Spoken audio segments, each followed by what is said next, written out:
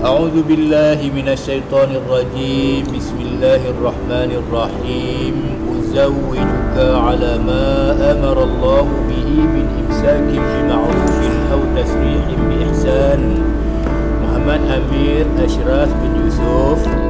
Menikah dan aku kawinkan dikau dengan pasangan engkau Fatin Ainur Nelisa binti Ramli Yang telah berwakil wali bapa kandungnya